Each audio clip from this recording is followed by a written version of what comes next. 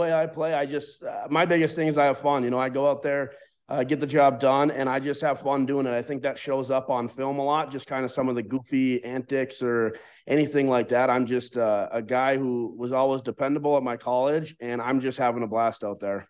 One of my biggest strengths is uh, my athleticism, like the ability to block out in space. That's something I've always prided myself on and done a good job with.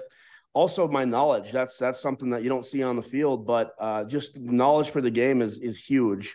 And uh, so, you know, something I'm trying to work on is uh, shoot, figure out which position uh, they're going to want me to be at, and uh, just do my best to go in and and and compete there. You know, coming from Fargo, the the winters get a little bit brutal out here in North Dakota, so I'm excited to uh, maybe get a little bit of sunshine in, in them uh, dark months up here in uh, North Dakota. So yeah, excited for the opportunity to come down there and play with some you know great teammates. Teeth is it junior high basketball? Is that correct? Junior high basketball. Yep. Is that an elbow? It was a head. Was another buddy dove for the ball, and I just kind of ran right into his head. It's almost a source of pride now. I would think. Oh, absolutely. Yeah, I uh, just uh, not not going to get him fixed anytime soon. I'll just say that. I won't be bringing just myself down to Tampa. I'll be bringing my dog as well. So my three-year-old chocolate lab's going to be coming with. He's he's absolutely going to enjoy the sunshine.